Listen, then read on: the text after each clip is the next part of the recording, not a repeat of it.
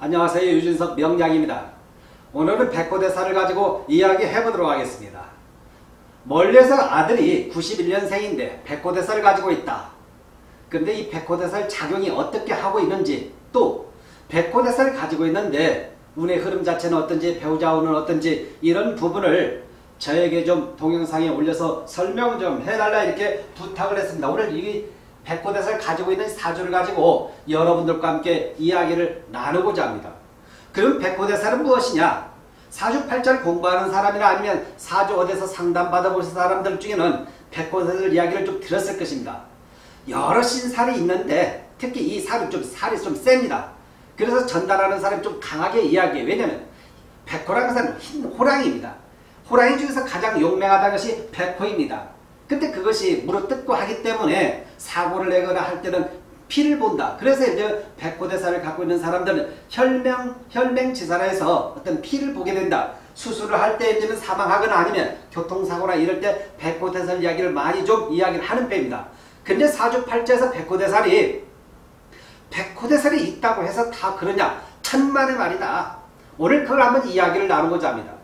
백호살을 가지고 있는 사람이 잘 먹고 잘 사는 사람은 세상 천지 수두룩합니다. 아무 일 없이 천수를 부르고 사는 사람들 많이 있습니다. 그럼 백호대사는 무엇이냐? 이제 그걸 먼저 알아야겠죠. 사주 60갑자가 있습니다. 60개 중에서 사주에서 7개가 일주가 아니면 사주에서 7개에 해당이 돼 60개 중에서 7개가 해당이 되는데 그 백호살에 해당이 되는데 그걸 한번 제가 한번 이야기 써보도록 하겠습니다. 자 사주에서 갑진이 있다. 갑진을 갖고 있는데 이를 갖고 있으면 이걸 백호대사라고 합니다. 을미를 갖고 있다. 을미. 병수를 갖고 있다. 정축을 갖고 있다. 무지를 갖고 있다. 그 다음에 임술 개축입니다. 임술 개축. 자, 60갑자 중에서 이 7개가 그러니까 60, 60개에서 이 7개가 백호대사에 해당이 되는데 사주팔자에서 이 글자가 있으면 이제 아 백호대사를 가지고 있다 이걸 이야기를 합니다. 근데 이 중에서도 백호대사도 을하고 정하고 축 이세 개하고 또 다릅니다. 얘네들과 얘네들은 달라요. 얘는 뭐냐? 을미 병술 정축입니다. 예를 들면 을미 일주다. 이렇게 있는 거하고 얘는 병술 병술 일주다. 이렇게 있을 때 얘네들이 을미 병술 정축이 있을 때는 얘 이 일간 자체가 이 안에서 인묘되기 때문에 당사자가 백호대살 중에서 이세 개에 해당이 되는 것은 당사자가 굉장히 아픔과 고통을 받는 것이다. 이게 첫 번째예요. 다른 것은 다른 육친들의 아픔을 겪는 것이 더 크다는 걸 이야기해요. 그러니까 다른 육체가 아버지가 굉장히 안 좋든지 어머니가 안 좋든지 이걸 이야기할 수 있습니다. 예를 들면 일간 자체가 저하다. 병인데 예를 들면 일간 병, 병인데 여기서 갑진입니다. 예를 들면 이렇게 나왔을 때 병 이게 이제 편인 어머니예요. 때 타주에 있는 백호대사는 어머니가 백호대사 위에 앉아있는 이런 경우는 본인이 그런 것이 아니라 어머니가 백호대사 위에 앉아있기 때문에 거기에 위험에 노출됐다 이렇게 설명할 수가 있는 것입니다. 그런데 이세 개는 당사자에 해당이 된다는 거죠. 당사자. 자, 그런데 이것이 있다고 해서 그러면 그러냐? 이게 문제가 있느냐? 다 그러냐? 아니에요. 얘들과 한계 옆에 글자들이 있어. 얘네들에 의해서 얘가 경냐 안 경냐 이것이 차이가 있다는 것입니다. 그래서 백호대사를 갖고 있는 사람들은 그러나 분명한 것은 이런 인자를 갖고 있으면 아내 문제죠. 아내 문제에서 분명히 을, 을미, 병술, 예를 들면 정축 이렇게 있으면 아내 문제에서는 아픔이 있죠. 아내가 아프든지 뭔가 들면 결함이 있다 이것만큼은 좀 참고해볼 필요는 있다. 그런데 얘네들에 의해서 좌지우지되고 사주에서 이 백호대살이 있는데 옆에 글자에 의해서 백호대살이 해제되는 경우가 있다는 것을 꼭 참고하시라. 자 그러면 이 백호대살을 갖고 있는 것이 나쁘냐? 아니에요. 다르게 생각하면 얘네들 전부 다가 뭐냐 재물과 관련이 있습니다. 재물과. 재물과 관련이 있기 때문에 이 백호대사를 갖고 있는 사람들 대부분이 물질에 대한 견자체를 가지고 치고받고 하는 것이 있다. 그러니까 백호대사를 잘 갖고 얘네들이 운대가 잘 형성이 되게 된다면 큰 재물을 취합니다. 이런 사례들이 진짜 많아요. 돈 많고 부동산 부자들 백호대사를 갖고 있는 사람들 많이 있습니다. 안철수 씨도 무진입니다. 무진. 무진 백호 일주가 무진인가 이렇게 봐요. 그러니까 이걸 갖고 있는 사람들이 백호대사를 가지고 있는 사람들이 물질에 대한 기운이 좋다. 근데 특히 만약에 이게 건달들이 건달들이 있으면 물질 갖고 서로가 치고받거니까 아니면 돈 문제. 돈과 여자잖아요. 재물이잖아요. 재물. 그러니까 남자 같으면 재물과 여자 문제로 치고받고 하기 때문에 그 어둠의 세계에서는 이런 부분이 굉장히 칼부림이 날 수 있겠죠. 항상 사건되는 여자가 있고 돈과 개입이 있다. 이게 백호대사에 해당된다는 것이죠. 자 오늘 이 사주를 주셨습니다. 주인공이 사주를. 자 여기도 백호대사를 있어야 보니까 갑진 갑진 일주에 갑진을 가지고 있다. 개사월 신미 개축 이렇게 지금 사주의 구성이 구성되어 있습니다. 개축 신미 개사 갑진 개 개유 개유에 있습니다. 이렇게 자 사주가 91년생의 30세 남자입니다. 어머니 입장에서 백호대살이 있으니까 어떻게 흘러가고 있느냐? 자 백호대살이 있는데 작용이 되냐 옆에 글자가 유 합을 하고 있어요. 이럴 때는 해제가 됩니다. 합에 의해서 백호살 문제가 희석이 되고 약해져 있다는 것이죠. 그러니까 이런 사주에서는 이 사주에서는 백호대살 기운 자체가 약하다. 그런데 밑에를 보니까 편제를 깔고 있어요. 편제. 편제라는 것은 재물과 여자를 이야기합니다 간목 자체가 이게 편제를 깔고 있으면 대부분이 이성 문제, 여자 문제에 대해서는 뭐냐? 혼선이 있다. 그것만큼은 정확하라. 이분이 저에게, 저에게 주시면서 냉정한 사주 분석을 부탁합니다. 이렇게 했습니다. 냉정하게 이야기했습니다. 이 사주에서는 배우자, 결혼하고 난 이후에 편제, 다른 여자를 얼마든지 기회가 주면 품겠다. 이것을 대기 상태에 있다. 이걸 이야기해 주면 대기 상태라는 것은 기회만 주고 품겠다. 이걸 이야기해 줘요. 이 속에 정, 기토가 있습니다. 여기에서 사자와 오자에서 공엽이 오가 있어 여기에도 하나가 있고 여기에도 있다는 거예요. 그래서 이런 사주는 얼마든지 기회가 주면 품을 수 있다 이걸 이야기해 줍니다. 돈과 여자에 대해서는 이 사주는 욕심을 내고 있구나 이렇게 설명할 수 있습니다. 보편적으로 이 사주는 고집이 셉니다. 고집 세고 자주색이 강해 간섭하면 더 싫어해요. 그 다음에 이런 사주는 여과가 아니라 곰과입니다. 곰과 우직해요. 자 근데 이 간목 자체는 근본적으로 여기서 뭘 원하느냐 여기 지금 식신 그 식신격이에요. 식신인데 수의 기운 자체가 옆에서 공급을 해주는데 간목 자체는 간목은 근본적으로 정화와 경금을 좋아한다.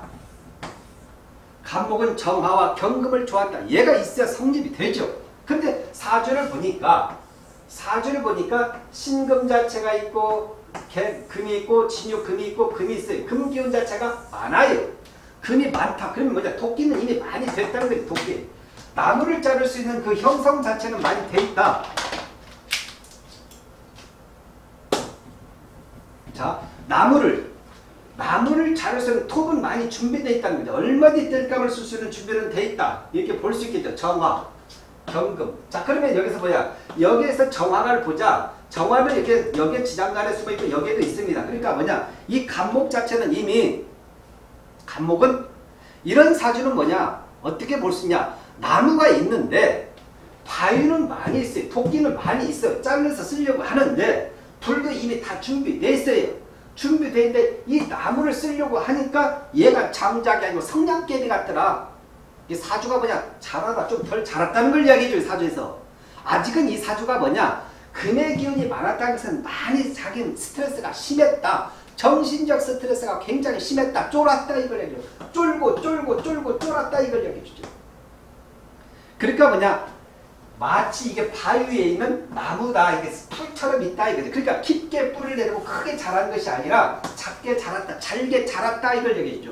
여자들도 여기저기 쳐다보지만 자기가 품을 수 있는 경우는 좀 약했다 이걸 얘기했죠. 왜? 작으니까 이렇게 보겠죠.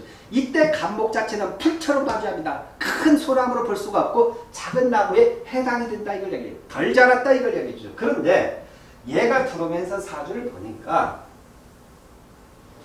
이렇게 사주가 구성이 되는데 대운의 흐름을 보니까 구대운이에요. 구대운 자체. 임진, 신묘, 경인, 기축, 무자 이렇게 나가고 있습니다. 자, 이제 9, 19, 29, 39 이렇게 49가 현재 경인 대운에 이제 여기에서 지금 3, 30세니까 경인대운에 인과 들고 묘가 있는 같은 목을 갖고 들어왔는데 이 묘는 습한 기운이 승목이에요. 아무 해당상 전혀 잘할 수가 없다. 자라 쓸모가 없었다 이걸 이야기죠. 그런데 얘가 들어오면서 인이 되면서 반전의 기미가 있다 이걸 이야기죠.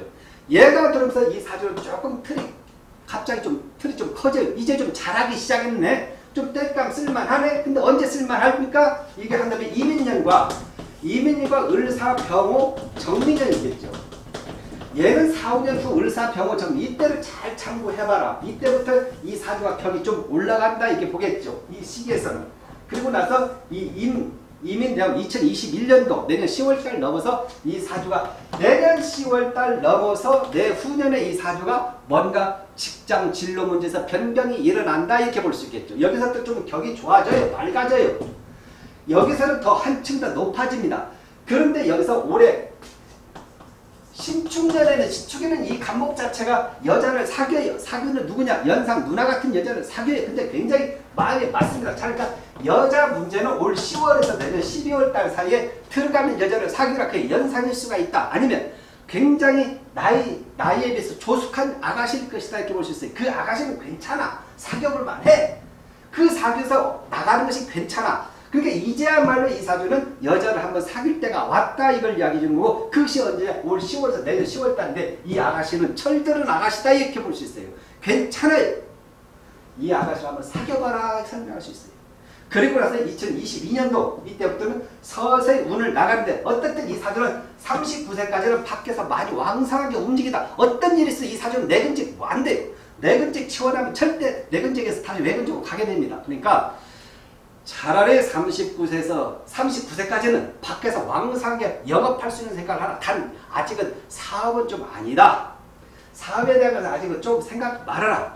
그래도 만약에 해야겠다면 이런 상황, 이때 상황에서 참고해봐라 이렇게 설명할 수가 있습니다.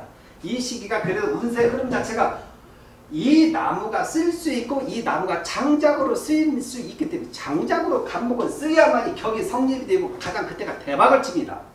얘는 쪼개서 써줘야 대박이 돼요.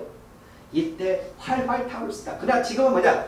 얘가 아무리 구성을 봐도 얘는 뭐냐면 솔까지밖에 듣지 못한 솔까지가 어떻게 큰 일을 이룰 수 있냐. 그러니까 지금까지는 이렇게 살았을 것이다. 저는 설명하고 이것이 언제 파기냐. 내년 양력 11월 7일 그리고 22년도 괜찮아지고 을사년 병호 정민년은 괜찮다. 이때 대운과 세운에서 크게 합이 이루어지니까 이때야말로 찬스를 잡아서 해봐라 이렇게 설명할 수가 있는 것입니다. 다시 이야기합니다. 백호대살 이때는 아무 의미가 없습니다. 이 사주에서 의미가 아무 없어. 단지 뭐냐? 여자 문제에 대한 것은 그것이 하나 문제점이지 이게 어떤 큰 문제를 일으키고 그런 것은 전혀 없다. 살면서 이 사주가 혈명지사를 겪을 수 있는 것은 전혀 없다. 어떤 문제만 있냐? 여자 문제만 그렇다.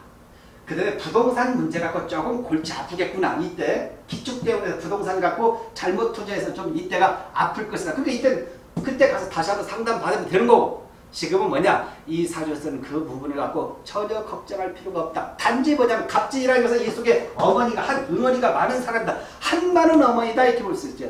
한 많은 어머니.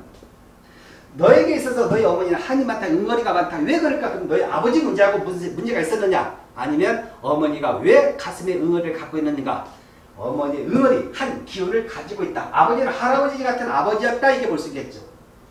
그런데 이 감목 자체는 어쨌든 이 상황에서 지금은 뭐냐 뭔가 이제는 움직이고 나갈 수 있는 때가 왔다. 내년 11월 7일부터 나가자. 그러나 올 10월부터 내년에는 여자를 만나라. 괜찮다. 거기 여자 아내값으로서는 괜찮다. 철들을 아가시다.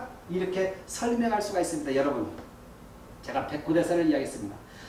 지금 동영상을 저게 찍어달라고 한번 이거 잘 참고해 보시기 바랍니다. 백호대사를 가지고 있지만 누구에게나 적용되는 것이 아니라 언제 발발하느냐 언제 문제가 생기느냐 백호대사를 갖고 있는데 상대가 백호대사를 갖고 있으면 그건 괜찮습니다. 같은 강한 살길이 있을 때는 괜찮아요. 그렇다고 해서 모든 게 좋은 것이라 사주 구성이 워낙 안 좋을 때는 그래도 좋지만 그러나 그것까지 좋다고 할 수는 없다. 그러나 보통의 백호대살과 백호대살을 만나게 되면 그것은 금상첨화 괜찮다. 불행 중 다행이다. 괜찮다. 궁합에서는 그런 것은 우선권으로 보게 됩니다. 한번 참고해 보시기 바랍니다. 감사합니다.